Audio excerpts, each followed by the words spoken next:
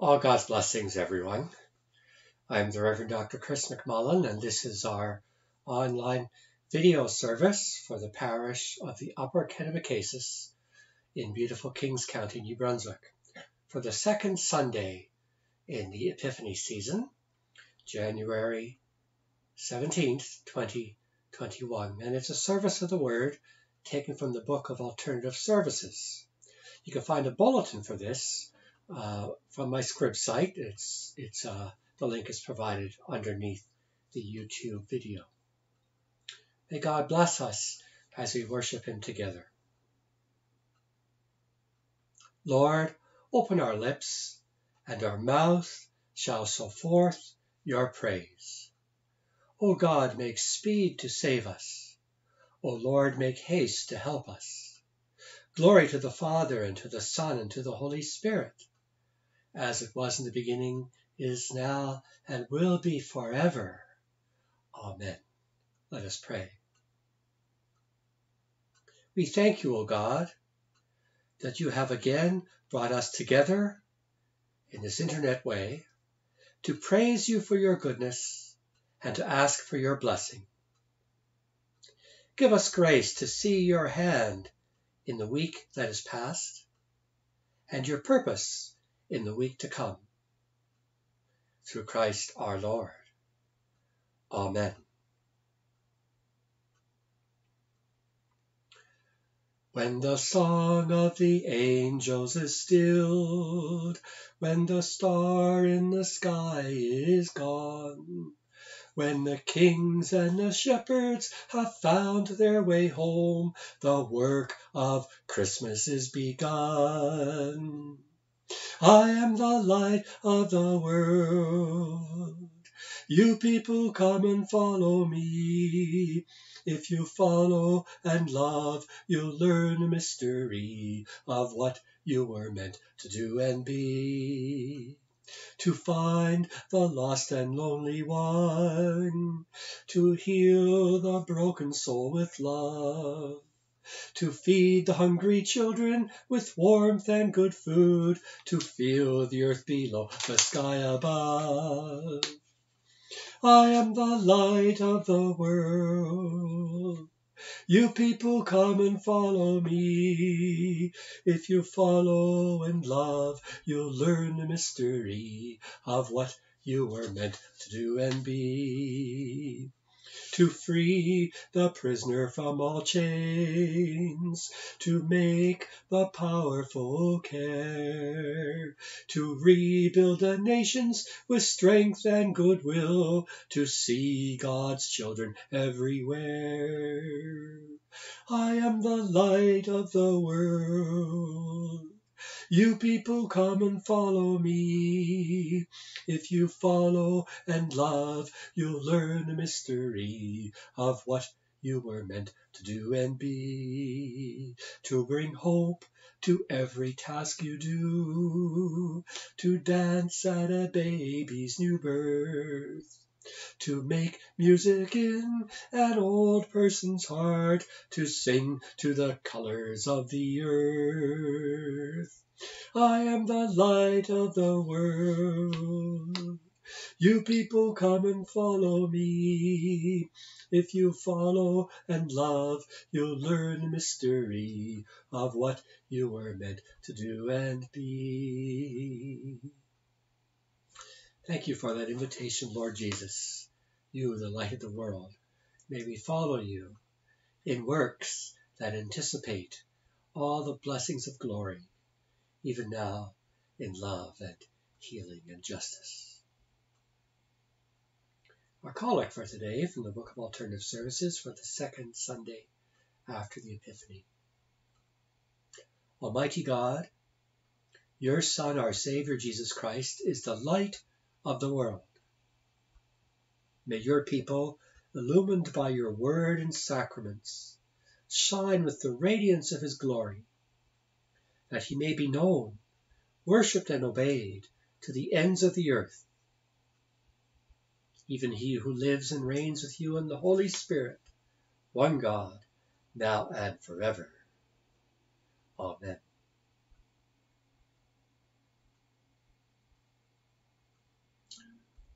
The uh, theme of the first couple Sunday services after the Sunday celebrating the baptism of Jesus, Sunday after the Epiphany, in the Revised Common Lectionary used by Christians uh, around the world and across the centuries. Um, the theme of these Sundays are really on the call to discipleship, uh, saying yes to God's yes to us. And so the Old Testament scripture for this Sunday in Year B is the calling of Samuel.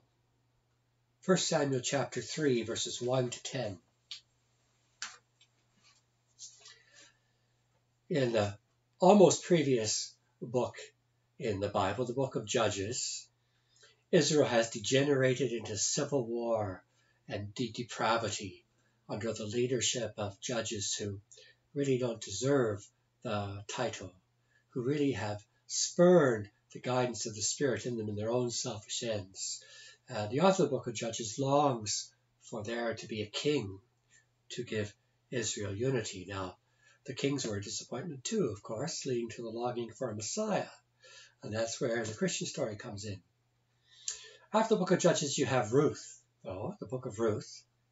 And in Ruth, you have this, this wonderful family, some of whom aren't even Jewish, trusting in God in a deep way, and they become the forebears of the great King David. So, in spite of the depravity and the discouragement of the times in Israel, God is at work in the love and the loyalty and the goodness of ordinary Jewish believers. And that will eventually lead to David. Then we have First Samuel. And we hear this woman who offers her first child to Samuel. She's unable to have children. She's a disgrace in the community. She prays about this um, so desperately that she gets in trouble with the, the priest in the tabernacle. But her prayer is answered, and she gives birth to Samuel, and she dedicates Samuel to the Lord. He becomes what I used to call my altar servers in church. My young people help me at the Holy Communion, the altar. She, Samuel becomes the first altar server, helping the old fellow Eli in the uh, temple. And Samuel is called, and Samuel becomes a great prophet who is the one who eventually anoints and guides David as king of Israel. And he unites Israel uh, around their faith in the Lord, and their loyalty to the covenant. And this is the beginning of his calling. 1 Samuel chapter 3, verses 1 to 10.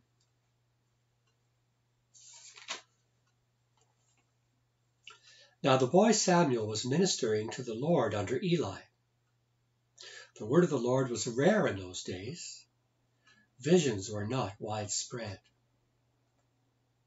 At that time Eli, whose eyesight had begun to grow dim so that he could not see, was lying down in his room. The lamp of God had not yet gone out.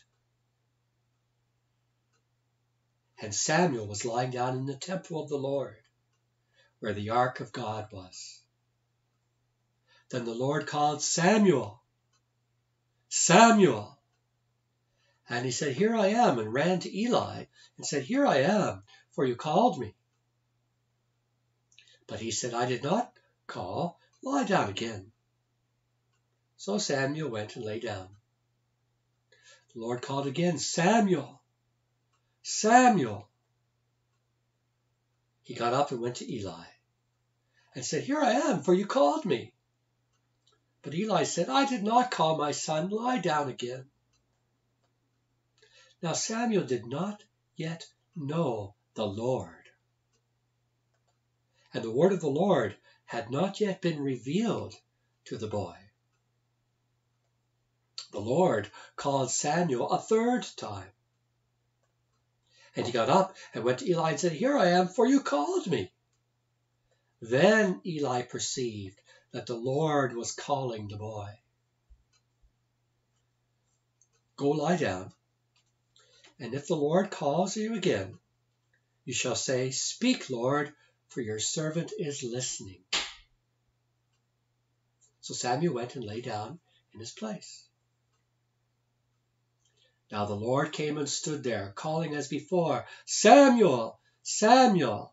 And Samuel said, Speak, Lord, for your servant is listening. The word of the Lord. Thanks be to God. Now, the psalm to celebrate and echo and pray that lesson is in the Revised Common Lectionary is Psalm 139. I'll read the ver- version from the Book of Alternative Services. I'm going to pray verses 1 to 5 and 12 to 17. Lord, you have searched me out and known me. You know my sitting down and my rising up. You discern my thoughts from afar. You trace my journeys and my resting places, and are acquainted with all my ways. Indeed, there is not a word of my lips, but you, O Lord, know it all together. You press upon me behind and before, and lay your hand upon me. Such knowledge is too wonderful for me. It is so high that I cannot attain to it. For you created my inmost parts. You knit me together in my mother's womb. I will thank you because I am marvelously made. Your works are wonderful, and I know it well. My body was not hidden from you while I was being made in secret, woven in the depths of the earth. Your eyes beheld my limbs, yet unfinished in the womb. All of them were written in your book. They were fashioned day by day, when as yet there was none of them. How deep I find your thoughts, O God! How great is the sum of them! If I were to count them, they would be more in number than the sand. To count them all, my lifespan would need to be like yours. Glory to the Father, and to the Son, and to the Holy Spirit, as it was in the beginning, is now, and will be forever. Amen. Psalm prayer in the Book of Alternative Services. God of mystery and power, even our minds and hearts are the veils and signs of your presence. We come in silent wonder to learn the way of simplicity, the eternal road that leads to love for you and for your whole creation. We come as your Son Jesus Christ taught us, and in his name. Amen.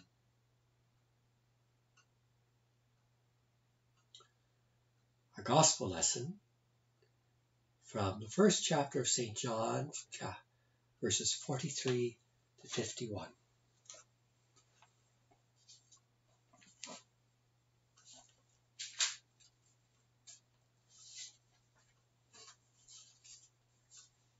Jesus calls Philip and Nathanael. The next day, after John the Baptist introduced Jesus to John and Andrew, Jesus decided to go to Galilee. He found Philip and said to him, Follow me. Now Philip was from Bethsaida, the city of Andrew and Peter. Philip found Nathanael and said to him, We have found him about whom Moses in the law and also the prophets wrote, Jesus, son of Joseph from Nazareth. Nathanael said to him, Can anything good come out of Nazareth? Philip said to him, Come and see. When Jesus saw Nathanael coming toward him, he said of him, Here is truly an Israelite in whom there is no deceit. Nathanael asked Jesus, Where did you get to know me? Jesus answered, I saw you under the fig tree before Philip called you. Nathanael replied, Rabbi, you are the Son of God. You are the King of Israel. Jesus answered, Do you believe? Because I told you that I saw you under the fig tree? You will see greater things than these. And he said to Nathanael, Very truly, I tell you, you will see heaven opened and the angels of God ascending and descending upon the Son of Man. The Gospel of Christ. Praise to you, Lord Jesus Christ.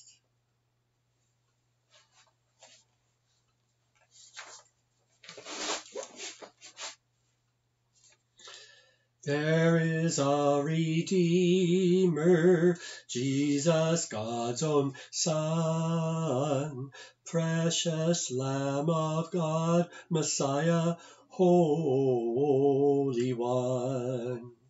Thank you, O my Father, for giving us your Son and leaving your Spirit till the work on earth is done.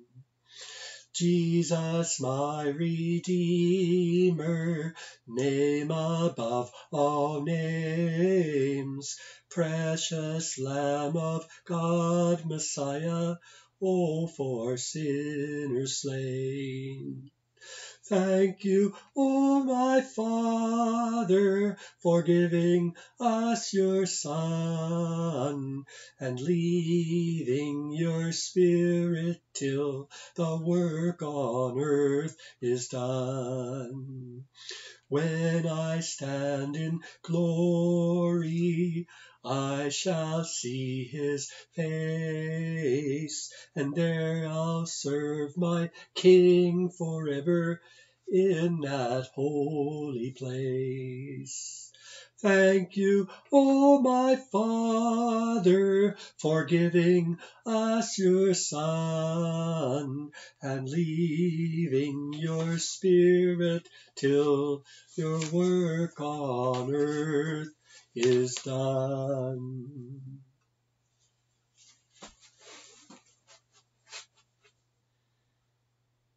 Father, speak your word to us that we may hear you and be thrilled. Jesus, be God's word with us that we may know your presence and be loyal.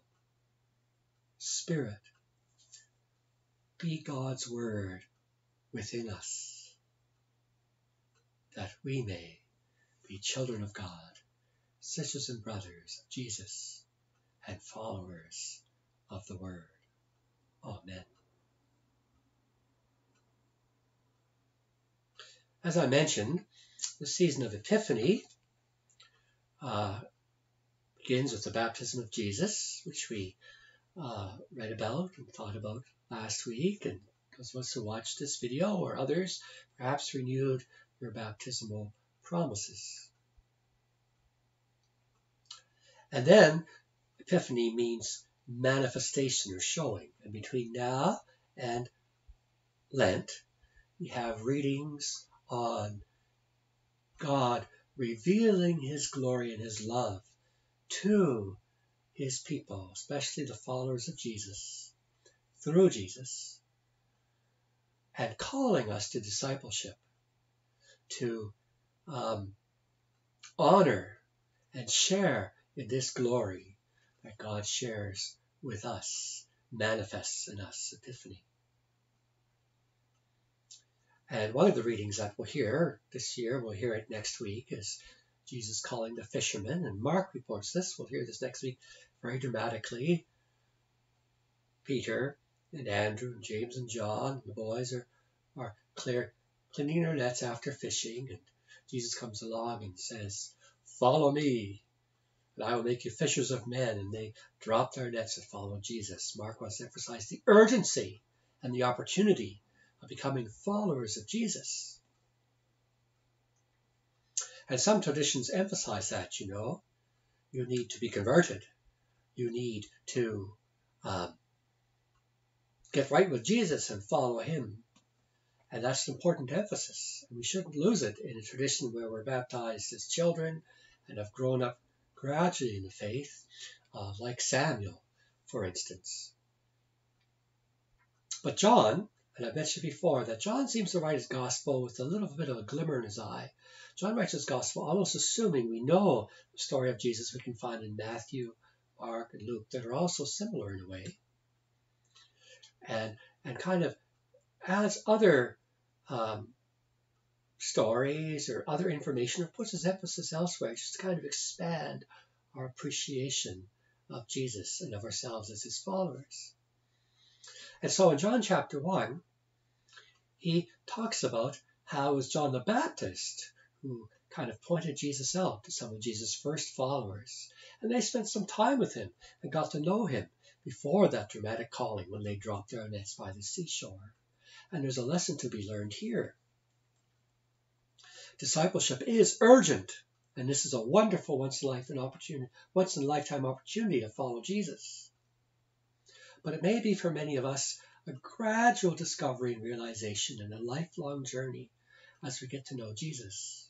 I want to focus on Nathaniel and his discovery that even when he was under the fig tree, Jesus knew him before he had even met Jesus. And how that made that discovery made Nathaniel a believer on the spot. He said, You are the anointed one, the Messiah. You are God's son. And Jesus, I think, finds that uh, something to kind of celebrate, uh, you know, with a bit of humor. And says, just think if that's spectacular. Wait to see angels of God ascending and descending on the Son of Man. That's a reference, of course, to the very beautiful story of Jacob's ladder. Jacob and all of his troubles and dangers falls asleep and using a rock for a pillow in the wilderness. And he wrestles all night. Oh, sorry, I got the story mixed up. He, he falls asleep and he's, he's afraid and he has a dream where he sees a ladder to heaven. Jacob's ladder and the angels ascending and descending on the ladder. You know, and uh, that there is commerce, there is traffic, there is communication back and forth from glory to his life with all of his troubles. And Jesus will be that ladder. Jesus will be the one in whom God will be made manifest, epiphany, and he is calling others to follow him that we might be. As Jesus said, the light of the world, he also said, You are the light of the world. You know, that your light shall shine before others that they will see your good works and glory to your Father in heaven. So he's inviting Nathaniel to be one of these ones, one, uh, the fulfillment of the vision of Jacob's ladder, one through whom the angels of God, the messengers of God, uh, will be coming and going from uh, eternity to our troubled life here and now. And so sometimes this is a gradual thing, but the point is, is that Jesus always knows us. He sees us under our fig trees. Under our fig trees. Now, what did Jesus mean by saying to Nathaniel? Uh, Nathaniel says, Nathaniel and um, Philip are coming to Jesus, and Jesus looks at Nathaniel and says, Here is an Israelite in whom there is no deceit. He's never even met the guy, but he discerns something in Nathaniel's spirit.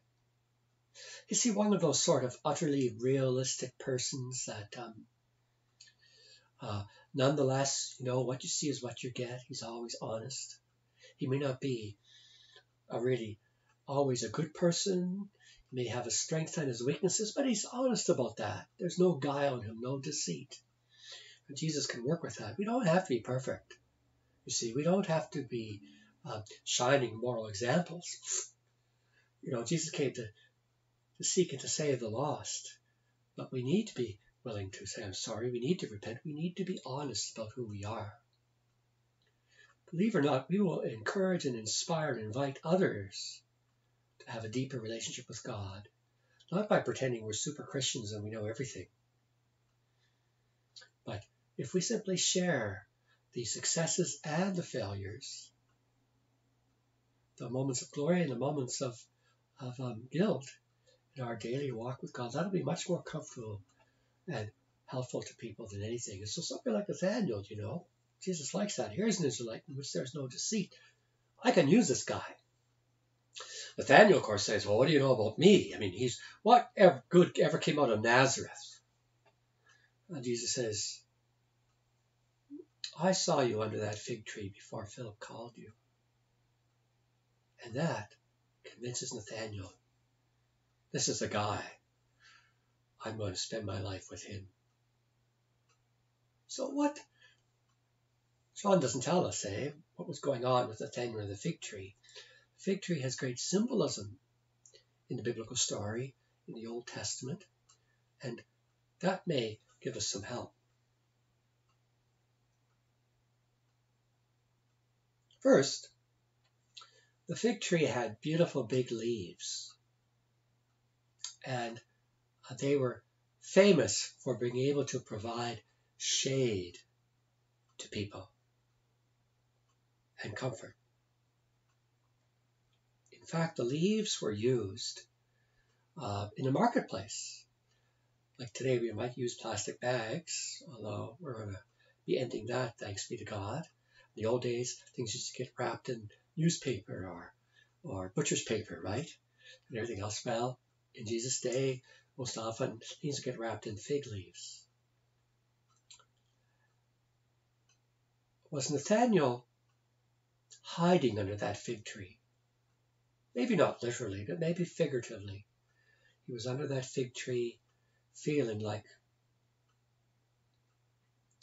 unworthy, feeling he had failed, you know, feeling like he couldn't show his face. It's just a thought. But Jesus saw that. Jesus saw that and said, Good for you, Nathaniel, for being honest. I know life is hard. I know sin is strong. I have come to defeat it, to give you a spirit, the Holy Spirit. I know that sensitive conscience that is bothering you right now is from my Father because He loves you. That restlessness because you are a better person than that. And you just need the courage, the wisdom, learning from your mistakes, the cussed loyalty to God to overcome that and be the kind of person you are called to be. God sees us under our fig trees. Remember Adam and Eve in the garden? They had this communion with God. They were vitally present to God, and God was vitally present to them closer to them than their own breath and the wind of the, of the garden where God was present and walked. Yet when they turned from God, they were ashamed. And what they do? They sewed fig leaves together to hide their nakedness. They could no longer stand before God. So now what's going on in Nathaniel's life? Just guessing from the biblical symbolism of the fig leaves. But God still loves them. God forgives them. And God still wants Nathaniel to be a follower of his son. Uh, we can have that experience. In the Anglican tradition, we call it the absolution. In a Greater Reformed tradition, it's called the assurance of pardon. That assurance that our sins are forgiven and that our heart is wounded and conscience written as it is, is precious and loved by God. And that that is not the last word about us. Maybe that's what reassured Nathaniel. Jesus saying, You're honest. You're an honest man. Here's Israelite who there is no guile. Thrilled to meet you. Who knows?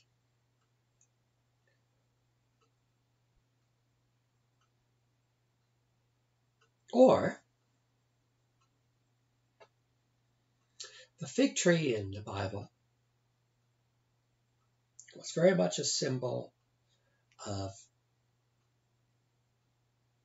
the overwhelming richness of life. The figs were very, very sweet fruit. You know, a fig tree could produce fruit in that climate where there was no winter like our Canadian winters, up to three times a year. Every time the fruit would be a little different. They would dry it. I'm sure we've all had dried fruit, maybe even dried figs. Maybe, you know, wonderful.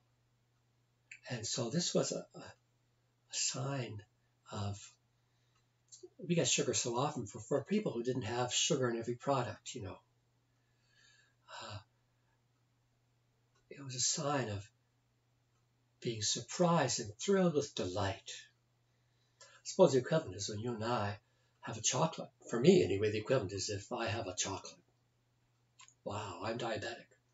So I said, I'm not going to waste my sugar. If I'm going to have sugar, you know, and I have to diet around it, you know, to make sure that that, that won't put my blood sugar levels too high. I want sugar with chocolate. That's my preference. Chocolate or um, fruitcake.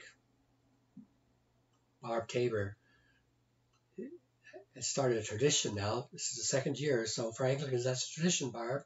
Barb Taylor gives me this wonderful homemade fruitcake every year.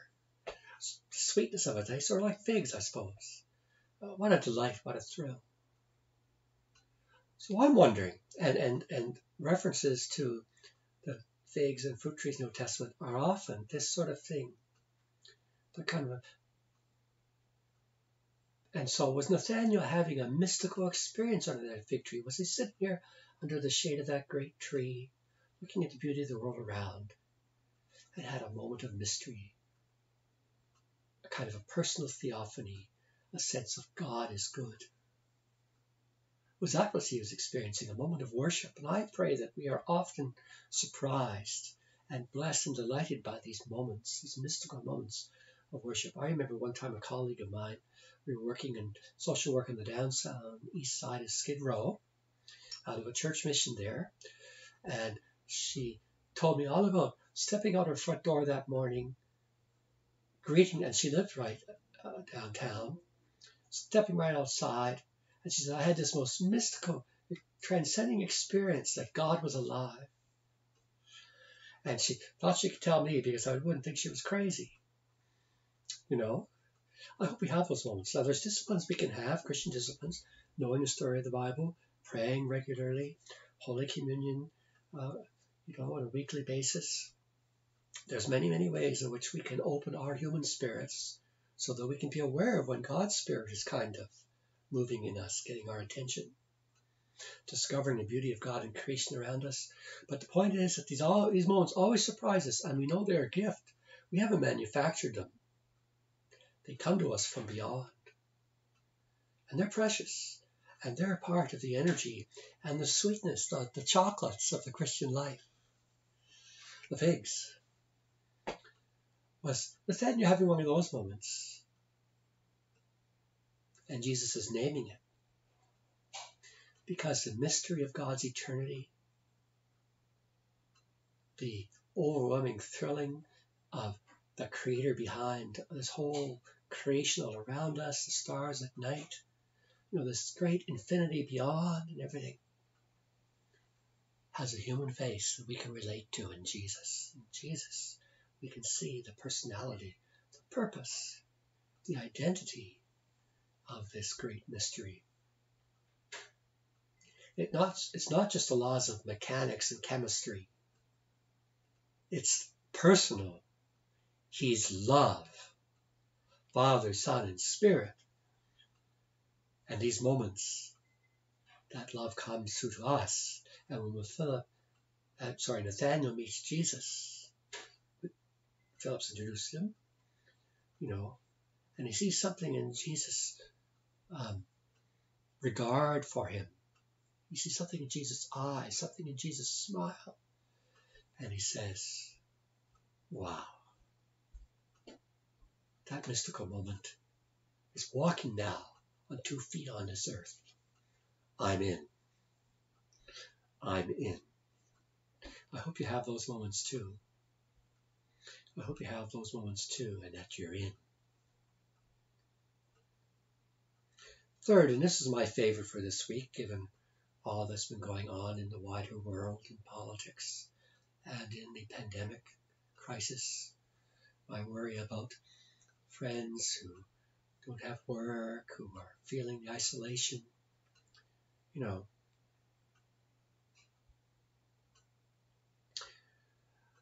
starts with Solomon. And then we hear from Jeremiah, Micah, Hosea, Joel, Habakkuk, Zechariah.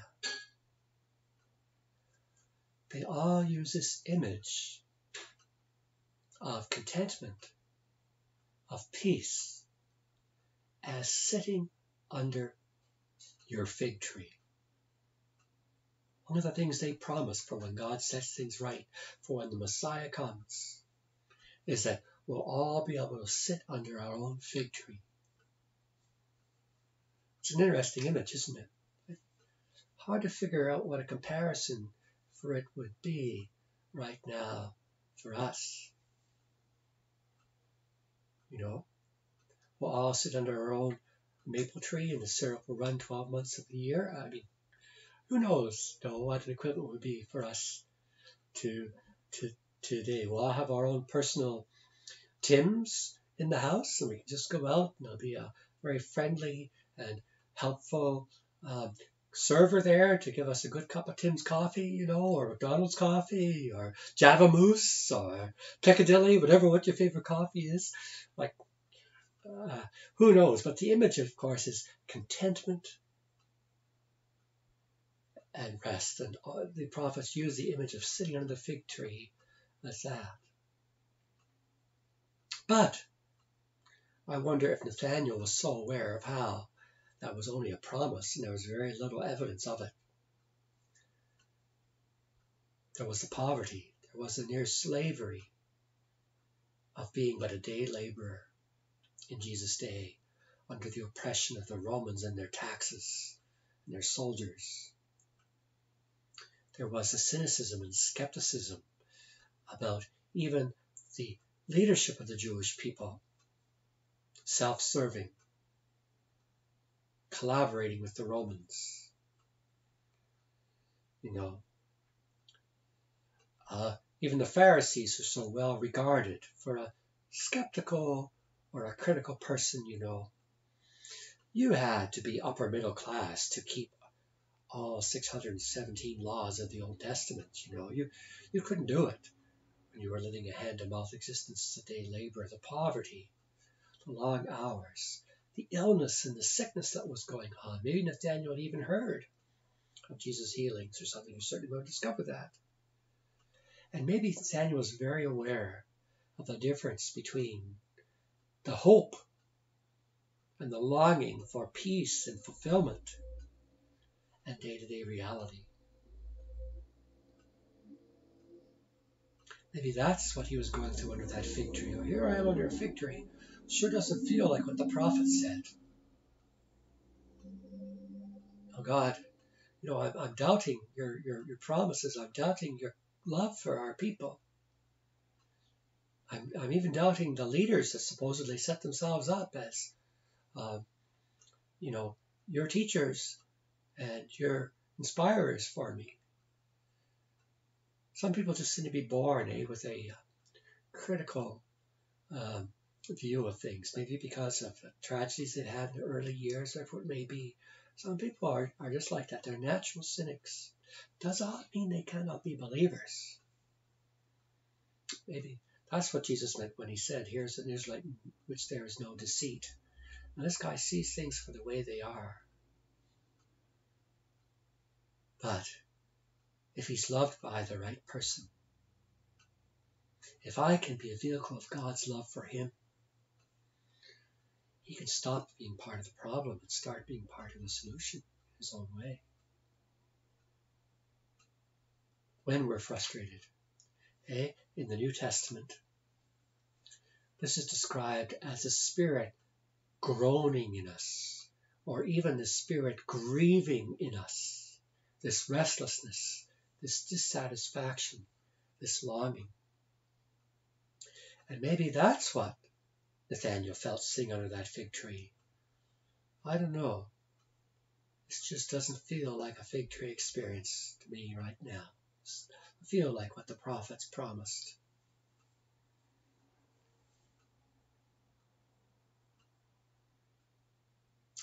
So are you feeling frustrated? Are you feeling disillusioned? Well,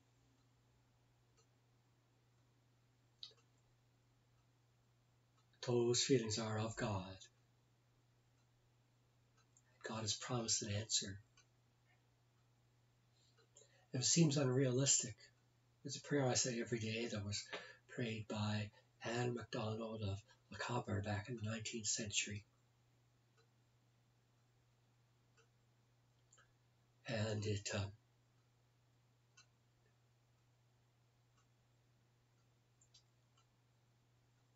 it goes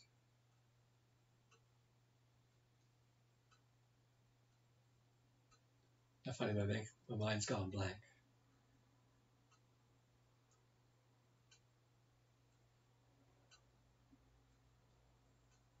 Help me to think on the death of Christ.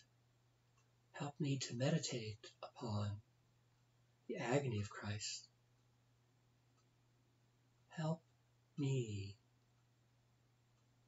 to make warm the love of Christ.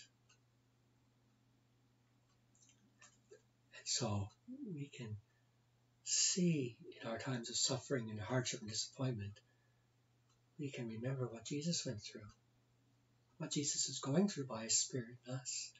We can find comfort, find comfort in our discouragement. We can remember the fig tree promise that, and it's beginning to be fulfilled as it was for Nathaniel here in Jesus coming to us, dying, suffering with us, and rising again from the dead to show what the end of the story is, the victory we know. So whether we're having a moment of shame, we want to cover ourselves with fig leaves, that's a good sign in a way.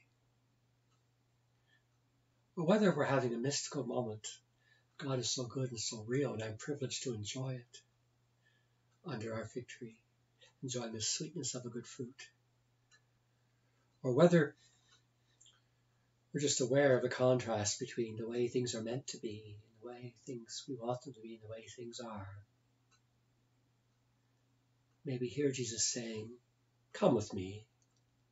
You'll see the angels of God ascending and descending on the Son of Man, ascending and descending in your own life. Thanks be to God. Amen.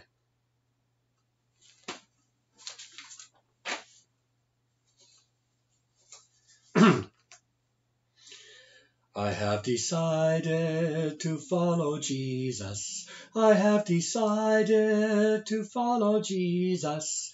I have decided to follow Jesus. No turning back, no turning back. The world behind me, the cross before me. The world behind me, the cross before me. The world behind me, the cross before me. No turning back, no turning back.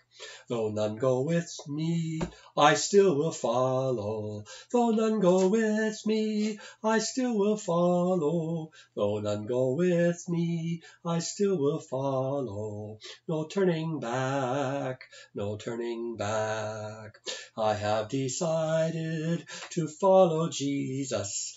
I have decided to follow Jesus. I have decided to follow Jesus. No turning back, no turning back. Page 52, the Book of Alternative Services, or Affirmation of Faith. I believe in God, the Father Almighty, creator of heaven and earth. I believe in Jesus Christ, his only Son, our Lord. He was conceived by the power of the Holy Spirit and born of the Virgin Mary. He suffered under Pontius Pilate, was crucified, died, and was buried. He descended to the dead. On the third day he rose again. He ascended into heaven and is seated at the right hand of the Father. He will come again to judge the living and the dead. I believe in the Holy Spirit, the Holy Catholic Church, the communion of saints, the forgiveness of sins, the resurrection of the body, and the life everlasting. Amen. Page 117 of our Book of Alternative Services, uh, litany number 9 for our morning prayers. I just documented the prayers for the beginning of our new week in God's love. Let us ask the Lord for a week of fulfillment and peace.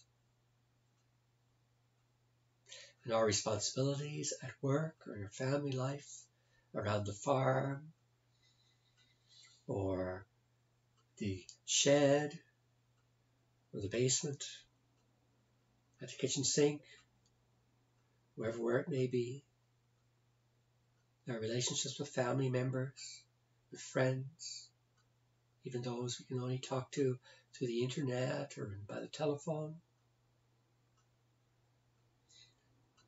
May we know peace.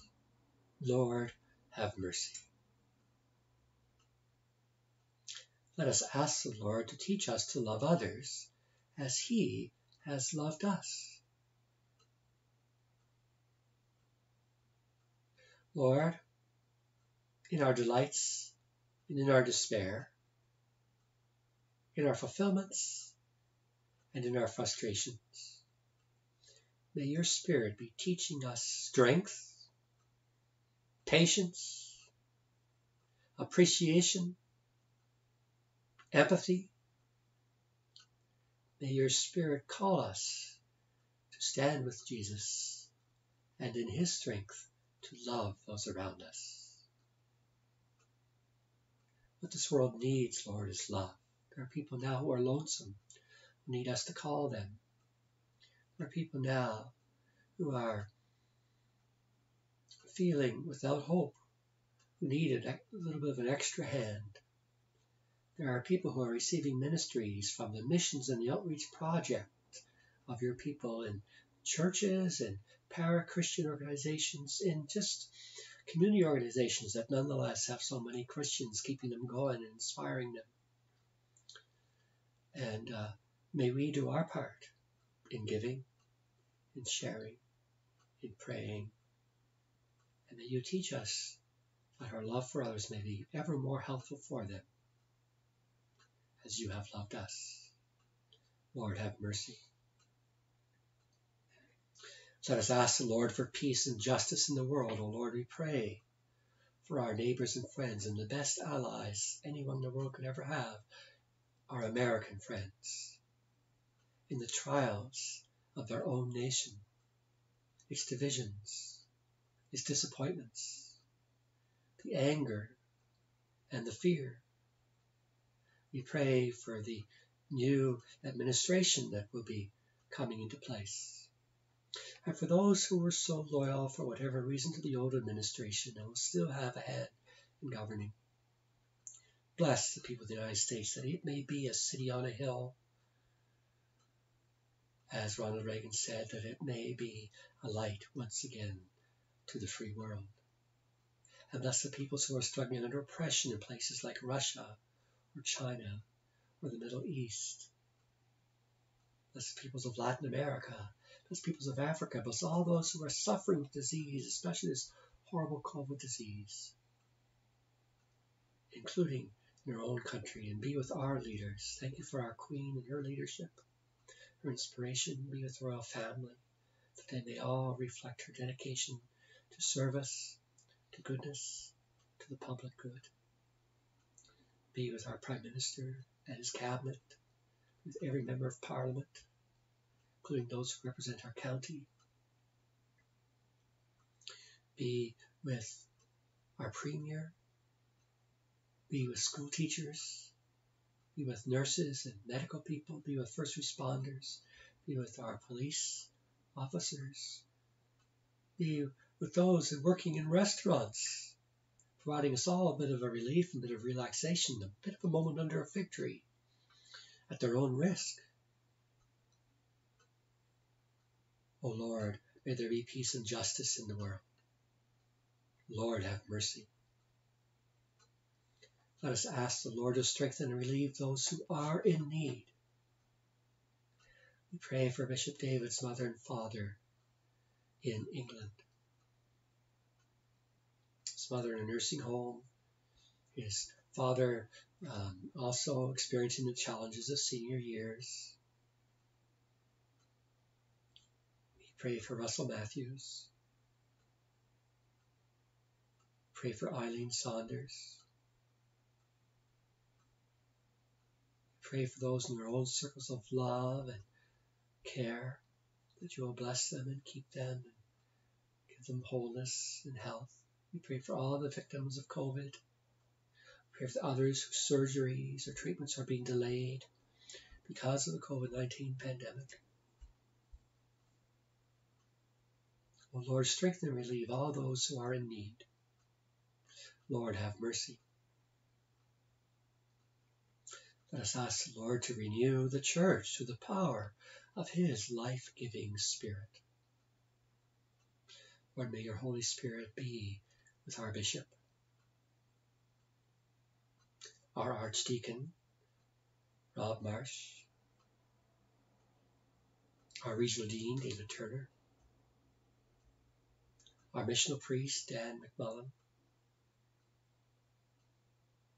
be with all the wardens, all the volunteers in ACW and Guilds of St. Joseph and other organizations.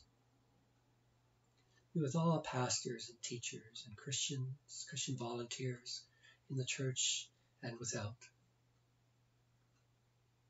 May the church gathered in named communities, but also scattered into the world all week long in people loving and serving and standing up for what's true. May we be renewed to face these post church going days with authenticity of faith, power of witness to your goodness, with a societal changing love and dedication. We can't do that on our own. This is not a human movement.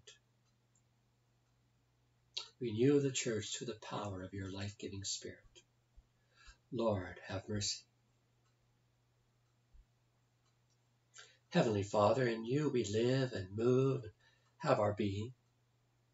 Guide and govern us by your Holy Spirit that in all the cares and occupations of our life we may never forget you, but may remember that we are ever walking in your sight through Jesus Christ our Lord.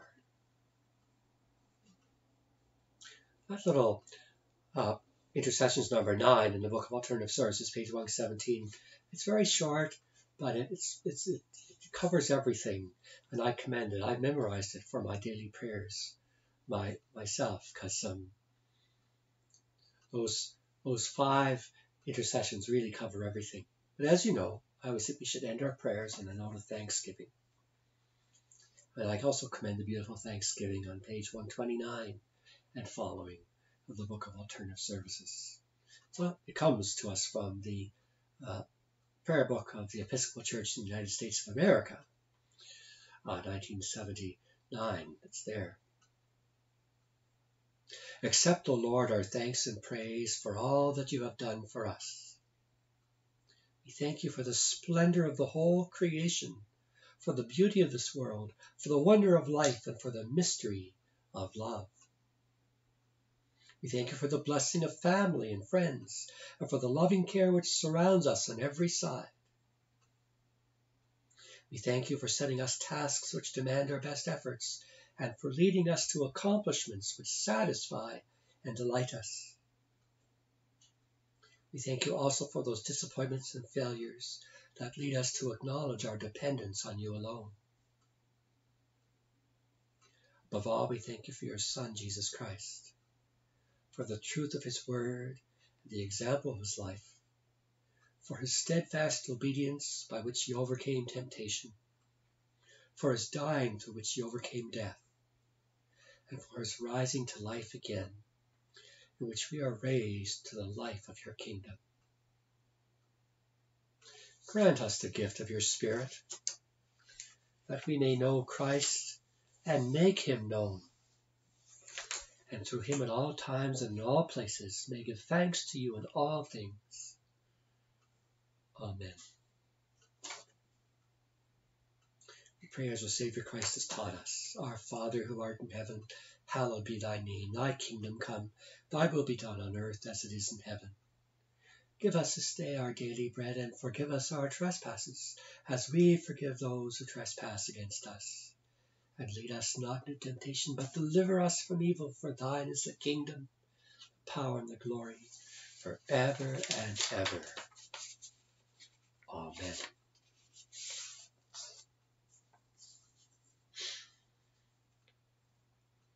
I heard the voice of Jesus say, Come unto me and rest. Lay down thy head, O weary one, thy head upon my breast. I came to Jesus as I was so weary, worn, and sad. I found in him a resting place, and he has made me glad. I heard the voice of Jesus say, Behold, I freely give the living water. Thirsty one, stoop down and drink and live. I came to Jesus and I drank of his life-giving stream. My thirst was quenched, my soul revived, and now I live in him. I heard the voice of Jesus say, I am this dark world's light.